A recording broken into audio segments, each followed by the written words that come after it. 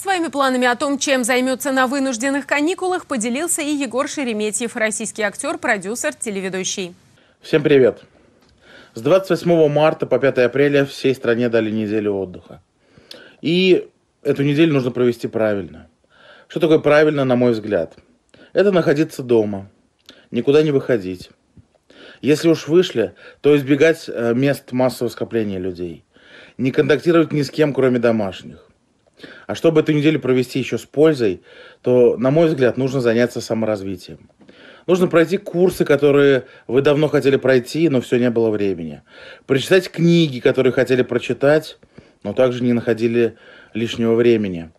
Посмотреть фильмы вместе со всей семьей, которые вы не успели посмотреть в прошлом году, в позапрошлом, а может быть и в позапозапрошлом.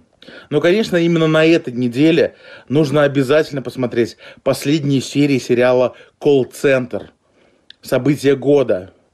С вашим покорным слугой э, в одной из главных ролей. И вообще, ребята, будьте здоровы, э, не болейте, берегите себя и своих близких. Егор Шереметьев, актер кино и сериалов, специально для Самара ГИС.